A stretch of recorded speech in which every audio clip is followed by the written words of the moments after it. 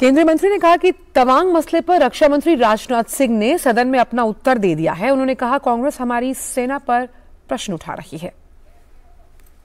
रक्षा मंत्री जी ने बड़े विस्तार में इस पर अपनी स्टेटमेंट दे दी है और इस पर कुछ और कहना उचित नहीं होगा। मैं इतना ही कहूँगा, कम से कम वो लोग तो प्रश्न ना उठाएँ जो डोकलाम की घटना के समय किनके साथ पाए गए, क्या पीते पाए गए किस देश के वो अधिकारी थे? किन देश के लोगों से उन्होंने फंडिंग ली?